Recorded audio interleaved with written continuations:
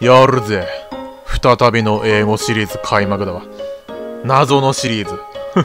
まあ、今日話すことは、まあ、前の留学から、じゃあまあ帰ってきて、それからどうしたのか、みたいな感じで、まあちょっとまあ流れみたいな説明して、で、そっからま自分がどういうふうに勉強したのか、みたいな。で、どういう教材使ったのか、みたいな。最初に言うと教材はまいくつかの本と、主にゲーム。もうほとんどゲームです。プラスゲーム実況です。ゲーム実況つんま LP、レッツプレイ動画っていう。まあそれはあの、てかレッツプレイ動画ね、すごいね、長くな、な、長くなる気がする。多分分けると思う。そのレッツプレイの話に関しては。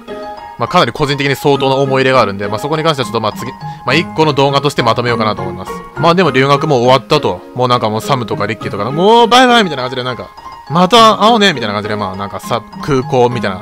まあサムは空港にいなかったけどさ。まあリッキーとなんかまあハグしてみたいな。バイバイみたいな感じでなんかまた会おうみたいな感じで行って、それで日本に帰りましたみたいな。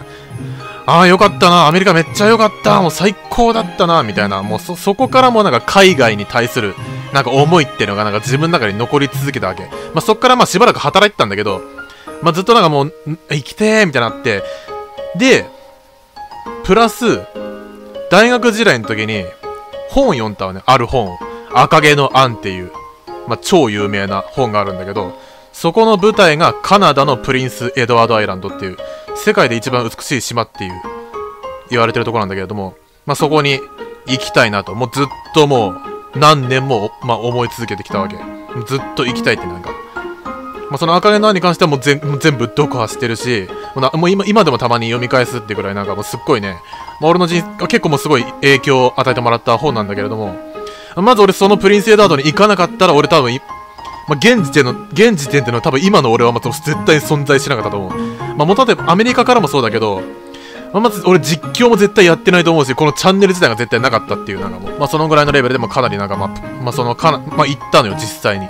まあその、巡り巡って、なんだろう、まあチャンスがあって、まあ行きましたと。で、まあ一応どうやって場所をさ、場所探しをしたかっていうと、まあ現地の学校があるのね。まあすごいちっちゃい島、ちっちゃい島だからそんな学校もないんだけども、まあ、専門学校みたいな、まあ、留学生受けれる専門学校みたいなのが1個あって、まあ、そこのページに、なんかルームメイト募集しますみたいなページがあったのね。まあ、たまたま俺そこを見たのよ。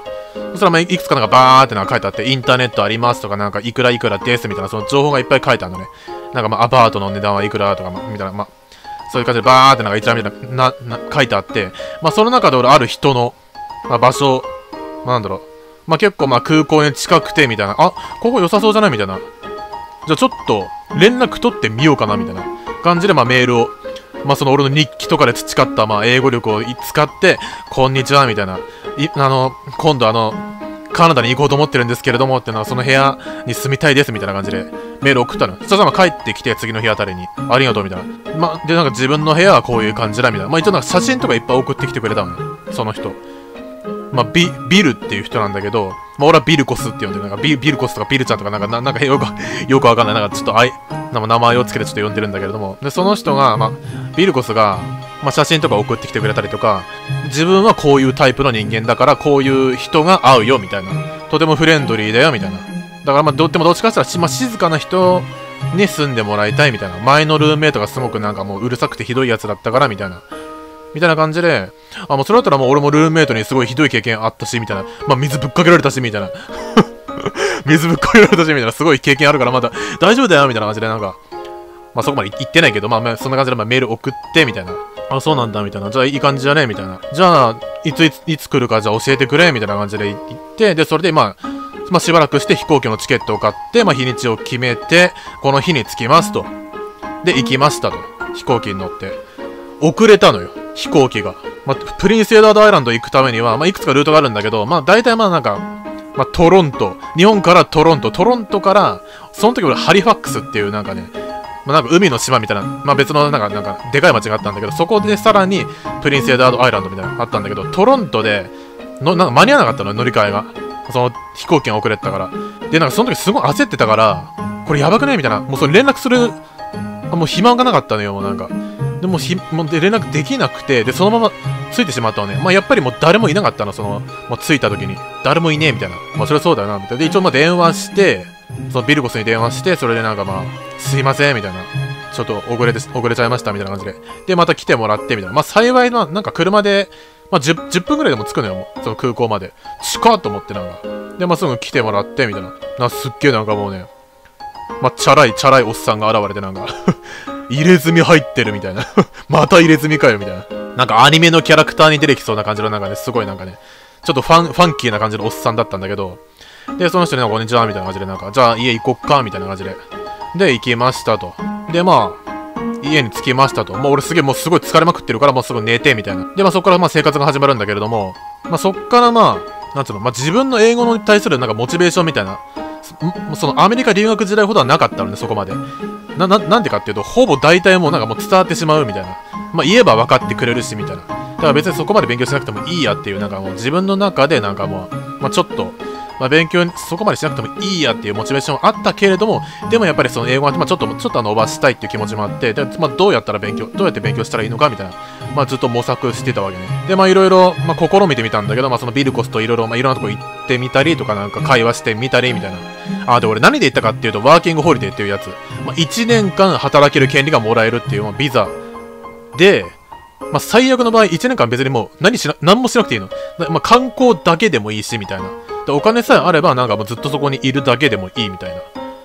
でもまあせっかくだからまあ働こうみたいな感じで、まあそのビルコスにいろいろ、まあこういう感じで来たんだけどみたいな、仕事場探してるみたいな感じで、ただまあいろいろ手伝ってくれた。まあ履歴書の書き方とかなんかいろいろなんか、教えてもらって、で、それでまあ自分なりにいろいろ書いてみて、で、まあなんかまあ大体まあ、おまあレレオン君だったらまああれなんじゃないかなみたいな、まあレストランとか、大体まあ受かりやすいんじゃないかなみたいな感じで言われたから、まあいろんなとこ連れてもらったんで、もうほぼ、まあ、めっちゃ狭い島だから、シャーロットタウンっていう、まあ、すごい、まあ、狭い場所なので、だほほぼ全部、履歴書配りまくりました、俺も。配りまくって、みたいな。いろんなとこ連れてってもらって、で、配りまくりました、みたいな。まあ、どこも来なかったけどね。どこも来ねえ、みたいな。どこも連絡来ねえ、みたいな感じで、なんか、何これみたいな。まあ、結局これ半年間ニートをやることになってしまったっていうのが。で、その間に俺さらにまどう、何、何、なんかしようと思って、日本語を教えるから英語を教えてくださいみたいな。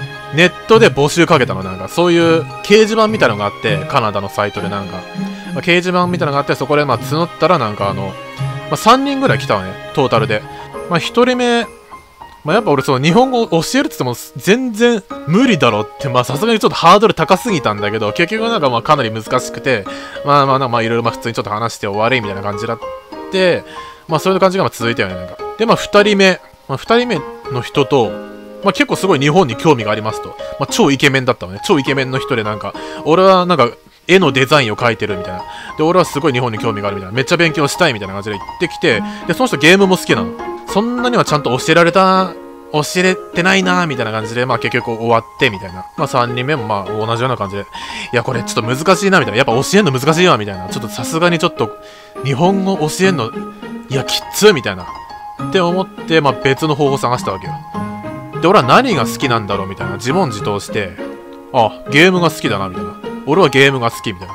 日本語でクロノトリガーとかあるんだから、クロノトリガー、クロノクロスみたいな、あるんだから、海外でもあるべみたいな。出てるんじゃないみたいな感じで。で、YouTube で探してみたのよ。なんかプレイ動画みたいなのあるんじゃないかなってな。で、そしたらまあヒットしたわけ。クロノクロスみたいな。で、その動画クリックするんじゃん。したらなんか、声が入ってんの。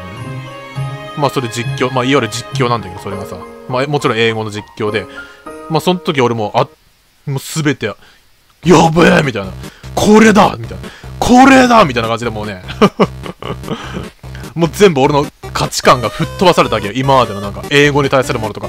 こんなものがあったの？みたいな。なんでこ、こんな素晴らしいものがあったのか？みたいな。すっごいなんかね、まあ、超興奮してなんかも、これだみたいな。もうそっからもうずっと俺はもう5年、5年、5、6年ぐらいもうずっと、レッツプレイ、実況をずっと俺はもう聞き続けてるってぐらい、もう今も聞いてる、もうずっと。ってぐらいもう完全ドハマりしてるんだけれども まあそっからも俺も実況やるみたいな感じで、ちょっとまあ、まあそれが主だったかな。その実況を勉強、ん？実況で勉強するみたいな。やっぱ最初はね、何言ってるかわかんないのよ、当然。なんでかっていうと、語学留学の、その留学した時は先生が分かりやすい英語を喋ってくれたから、絶対わかるのよ。ほぼ確実に。完璧な英語を話すから。で、それに対して、その、YouTube とかのその、まあ、実況では、英語、LP では、なんだろう、やっぱまあフラン、ある程度フランクな感じだし、その、やっぱりネイティブの、実際のネイティブの会話に近い会話がされるから、まあ、分かりにくい。最初全然分かんなかったな、何言ってるか。まあでもなんかそれ、それでもまあ聞こうみたいな感じで、聞こう、聞こう、聞こうってなんか最初もずっとクロノクロスの動画をずっと俺は見てました。これは絶対制覇してやるとか。絶対制覇しようと。で、ずっと、もうずっと聞き続けた、これはね。結果的にはもう実況き、実況だけで俺は英検準1級取りました、俺は。あの、そのリスニングに関しては俺何の対策もしないで、実況だけです、ここっちに関しては。まあでも俺さっき半年間ニートやったって言ったんだけど、まあ暇だ、暇だったのよ。もう履歴書も全部配ったし、みたいな。まあ大体なんか見て回ったし、みたいな、その島もなんか。やることねえよ、みたいな。え、でもこれ実況やりてえ、みたいな。まあ、実況っていう言葉自体知らなかったけど、その当時は。LP やりてえみたいな。レッツプレイ俺も超やりたいみたいな。何これ超面白いじゃんみたいな感じで。なんかなって、それでなんかもう。で、俺もやりてえと思って、まあ、調べたの。もう超調べまくったのね。あらゆることを。どうやってこういうのはやるのか全部英語で、ね、全部英語だからね、それ。もう 全部英語。How to, how to let's play みたいな。How to let's play みたいな。もうほんとなんかね、超調べまくって、まあ、そこでも多分ね、英語伸びたと思う。その、めっちゃ調べようとしたから、なんか、絶対、アンダースタンドも絶対分かってやるってなんかずっと思ってたから、まあ、そこでもなんかもうね、まあ、そこでまかなり鍛えられたっていうのは多いと思う。で、そこでまあ、まあ、結局そこでまあ、いろいろ調べて設備も全部整えましたと。一応。で、ソフトもあると。まあ、そう、あるっていうか、まあ、借りたんだけどね、借りて、その、で、やりましたみたいな。で、始めましたと。あ、超面白いみたいな。めっちゃ面白いみたいな。まあそんなこんなでまあなんだかんだ半年が過ぎてみたいな、またその例のその掲示板のサイトに、まあ今度はなんか俺がじゃあ仕事探してますみたいな感じで投稿してみたんだよ。そしたらまあ1週間しないうちになんか返事来てなんか工場の人から働いてみたい？みたいな感じでなんか来て、マジで？みたいな。マジか？みたいな感じで、行く行く行く行くみたいな感じでなんか行って行きましたみたいな。まあすごいちっちゃい工場なんだけど、まあ何してる工場かっていうと、なんかまあ戸棚？キッチンのなんか戸棚を作るみたいな、そういう感じのまあ、工場で、で、そこ行ったら、あ、じゃあ、来週から働いてくれよ、みたいな感じで言われて、マジかみたいな。完全ネイティブの職場じゃん、みたいな。すっげえみたいな。やったーみたいな。で、仕事を得ましたと。まあ、実際その喋ってないけどね、そこまで。実際喋ってないです。まあ、工場っていう性質上、なんかやっぱ黙々と作業やるんだよ。うるさい環境の中で。まあ、ずだからずっとなんかまあヘッド、まあその、なんつうの、まあ耳栓みたいなして、まあ耳栓して、まあずっと作業やるみたいな。で、たまにその休憩時間とかで、まあちょっとなんかどう調子はみたいな。朝とかさ、あとそう帰るときとかなんか、なんか週末何すんのとか、なんかそういう、まあちょっとした、まあ、まあ、ちょろっとした会話するみたいな、そういう感じだったんで。まあそんな感じで、まあ残りの半年もまあ過ごして、みたいな、働き、もうほぼ毎日働きながらも過ごして、みたいな感じで。で、まあ結局まあ、まあ帰る日が来て、みたいな。細かいこといっぱいあるけどね、そのまあ何があったかっていうのは、まあそこはまあちょっとまあ割愛、割愛と割愛して、まあ、別の機会でもしかしたら話すかもしれない。留学時代の話とかな、多分ああ、でも全部話したら多分 2, 2時間超えぐらいになるぐらいっていうのがもう、全く関係ねえ話ですね。まあ一応、じゃあこっからはまあ教材の話。教材は、レッツプレイです。レッツプレイ。で、さらに YouTube のコメントをずっと見てました、俺は。まあその、レッツプレイヤーさんという、まあ、その実況者さんが投稿したビデオに、まあ、コメントつくじゃん、やっぱりなんか。コメントつくから、それをずっと見てました。だからその、まあ、クロノクロスだったら、クロノクロスに関しての、なんか、まあ、その、動画出してみたいな。で、これってこういうことなんだよね、みたいな、なんかいろいろなんかまあ、グッジョブとかなんかさ、Thank you みたいな感じで、なんかまあいろんななんかコメントバーってなんかさ、あって、まあそういうの、まあ、まあ、読んだりもしてた、なんかずっと。まあそれがまあ、まあそういうの見て、まあ何が得たか、何が得たかっていうと、まあ、まあ、よよく使う表現みたいな。まあ、ネイティブの人が好んでよく使う表現みたいな、あ、こういうの、まあ、また見たことあるわ、みたいな、そういうの、そういうのがまあやたら多かったかなっていうまあ印象がなんか、 Let's Play です。まあ、リスニングに関しては。まあ、最初の教材は Let's Play。そして YouTube のコメント。で、さらに、ま、ウィキペディアってあるじゃん。で、ゲームのウィキペディアないかなみたいな。攻略サイトみたいな、多分あるよねみたいな感じで。まあ、探したら、まあ、ありましたと。クロノトリガー、クロノクロス、ドラゴンクエスト、ファイナルファンタジーみたいな。いっぱいじゃんみたいな。うお、すげえみたいな。まあ、なんつうの、 strategy、strategy guide とかなんかさ、 walkthrough みたいな。とかなんかそうそういうなんかまあ、ガイド系のやつがあって、で、それ全部なんかもう読みま、読もう読みまくりました。まあ、なんでかっていうと、そういうのが面白いからね、見てるとなんか、あ、これこ、あ、このことだ、みたいな。あ、これのこと言ってるわ、みたいな。あ、カエルがグランドリオン持って、あれするところだ、みたいな、そういうなんかさ、モチベーションが、なんかなんと、まあ、そういうやつだとま続くんだよね。だから自分が好きなやつだからこそ続くみたいな。まあ、ずっとそうやって、まあ、俺もずっとやった。まあ、今でもたま、まあ、まあ、ちょいちょいやるしみたいな。まあ、LP 実況に関してもほぼほぼまだまだまだ毎日見てるっていうぐらい、まあ、ずっとまあ続いていま。あ、あとさらにその中のゲーム、その実況内のゲーム、全部やっぱ英語じゃん。だからどういうセリフを喋ってるのかみたいな。でも大体そのなんか内容知ってればさ、日本、元々の日本語が分かってるはずじゃん。で、な、なんだろう。で、さらにその英語訳を見ることができるみたいな。あ、これってこういう表現、こういう風に言うんだ、みたいな。で、それでもずっと俺も見てましたもん。そのままその動画見ながら見て、あ、こういう表現してるんだ、みたいな。でも、クロノトリガーの場合はね、結構表現古い、すごく古いのが多いのよ。特殊なのが多いっていうか、なんか。だからちょっとあん、まあ、語彙力を増やすには結構いいけど、なんかあんまり参考にはならないかもしれない。ナチュラルな英語って感じでは。クロノクロスの方がまたそれだったらまだ結構いろいろ、綺麗な英語いっぱい多いし、まあ勉強になると思う。まあそんな感じかな。で、次はもう本。本です。まあ本はまあその、カナダ、そのカナダ時代とかま関係なしにも、それからも帰った後もずっとやったんだけど、まず、デュオ。デュオはマジでおすすめです。なんでかっていうと、超見やすいからっていうのと、まあ、そのデュオの特徴っていうのが、まあ、普通の単語帳みたいな感じじゃなくて文章を書いてそこを一個一個なんか削っていくなんつうの、まあ、さらにまあ絞り出していくみたいなこの意味はこれでこの意味はこれみたいな感じででさらにすごくそれが見やすくてなおかつその次の文章もなんつうのかその前の文章で使った単語のなんつうの、まあ、同じ意味の言葉とかなんかそういうなんかまあ関連性関連性をなんかねすごくねうまく融合なんつうの組み合わせ、組み合わせてるっていうのが、だからすごい構成がすごくめっちゃ上手なのね。でも正直もうディオ、ディオじゃねえ、ディディオ様じゃないわ。 DUO、DUOがあれば、でもディオ全部制覇すれば、まあ、英検も 2, 2級も全然余裕で受かるだろうし、みたいな。なんか準1級もまあ、まあいけるんじゃないかな、みたいな。まあそんなところ。で、次に、 TOEFLテスト英単語3800ってやつ。3800ね。 TOEFL3800。まあ結構これ、結構これ有名なやつなんで、 TOEFL っていうテストの単語帳なんだけれども、まあ、オレンジ色の表紙をしていますでこれはあのランクごとに難しさが分けられていて、まあ、4段階まであるのかな1は初心者向けみたいな4はもうほんと上級者向けみたいなでこれの1段階目もうほんともう基本的なほんと基本的な単語ばっかりだけなんでもうこれだけやればもう基本的な日常会話とかも絶対もう困んないと思うっていうぐらいの、まあ、語彙はカバーされてるはずだもうほとんどなんかまあそのランク1に載ってる単語はもうほぼ全てのまあ、なんつうの、まあ、YouTube のコメントでも、その記事でも絶対にどっかしらでまあ見かけるってものばっかりだと思うので。で、ランク2はまあさらにちょっと、まあ、ちょっとレベルアップしてるけれども、でもそれでもまだちょっとなんかまあ、結構使う割合がお、お、まあ結構多いよみたいな。まあ、3と4は別にまあそこまでやらなくてもいいと思う。本当にまあごく一部だけど。まあこれもかなりおすすめです。で、次はまあ緑色の表紙の英検準1級5位イディオム問題500っていう緑色の表紙をしたオーブン社から出てる本なんだけれども、まあ、これはまあ本当単語帳だね、これはもう。単語帳っていうかまあ空欄埋めみたいな。文章があって、ね、この空欄にどれが当てはまるか、次の4つの中から選びなさいみたいな。まあ、その、そういうで単語帳で、一応まあその解説も載ってる。結構使えますね。順位1級を受かりたいんだったら、まあ、結構重宝してました。あんま全部は見てないと思う。全部は見れてない、俺。カバーしきれてない。で、順位1級なんだけど、対策ね、俺ね、あんまりしてない。そこまで。正直。リスニングは実況。で、これあの、ある、まあ、俺がある実況者さん見始めたんだけど、その人の実況が、まあ、ある、まあ、決め手になった、それは。すごく、あ、これいい実況だな、みたいな。で、それはまあ次の動画で紹介しようかな、みたいな、思っております。もう結構長くなりそうだから。で、読みに関しても、まあ、ディオとか、まだディオって言っちゃったよ。で、もう一個はリーディングでしょ。まあ、英検って言ったら、まあ、そのリスニングと、まあ、基本リーディング。まあ、あと、まあ、英作文か。英作文も対策全然、ま、ま、一切やってない。全くやってない、俺。まあ、結局その、俺がその日記書いてみたいな。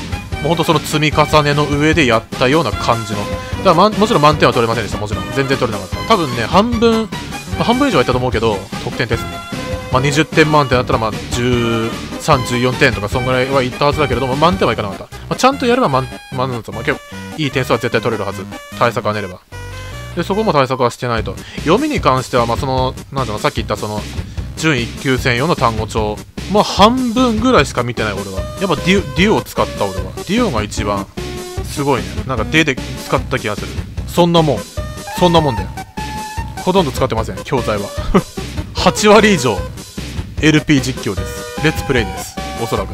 そこでまあかなり培ってきましたと。で、まあ、次の動画では、俺がリスペクトする俺が本気で尊敬している実況者さんたちを紹介しようかなと思います。どういう喋り方とか特徴とかこういうスタイルとかなんかそういうのを一人一人紹介していこうかなと思います。ではまた。